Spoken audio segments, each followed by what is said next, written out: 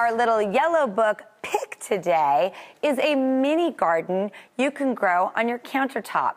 The Personal Rise Garden. In just 30 days, you can grow and harvest herbs and veggies and greens.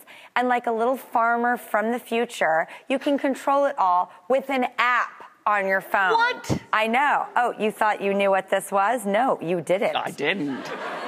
Um, well, you... let us explain.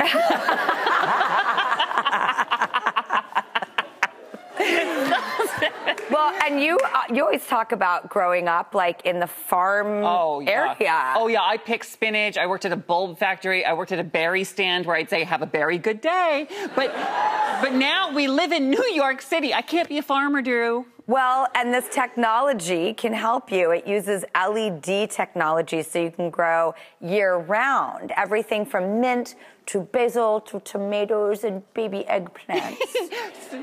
so my farmer days are back. It's a very good day.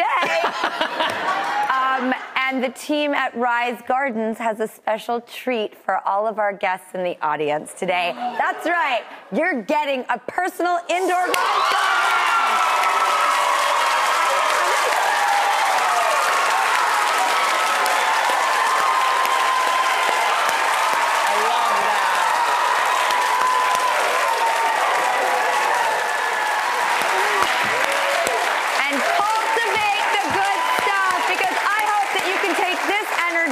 that I witnessed today and take it with you. Let's cultivate our gardens. Have a fantastic day.